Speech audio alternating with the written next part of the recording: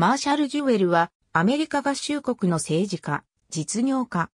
1869年から1870年まで、及び1871年から1873年まで、コネチカット州知事を1874年から1876年まで、アメリカ合衆国郵政長官を務めた。1825年10月20日、ジュエルはニューハンプシャー州ウィンチェスターで生まれた。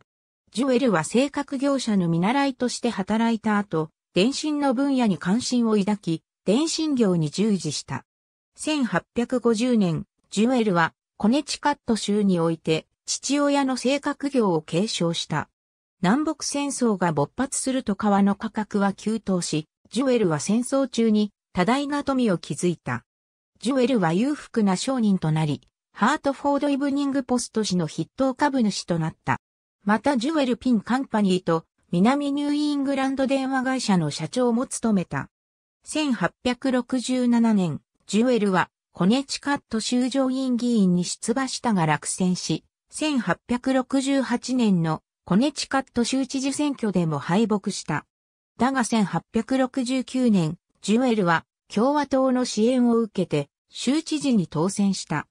ジュエルは1870年の選挙で再選に失敗したが、1871年及び1872年の選挙では勝利を収めた。ジュエルはユリシーズ・グラント大統領の要請により、1873年から1874年まで中ロシア公使を務めた。1874年7月、ジョン・クレスウェル郵政長官が突如辞任すると、グラント大統領は公認の郵政長官としてジュエルを起用することを決定した。ジュエルは同年8月に帰国し、郵政長官に着任した。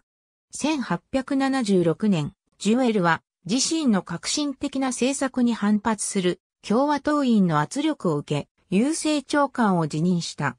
ジュエルは1880年から1883年まで共和党全国委員会の議長を務めた。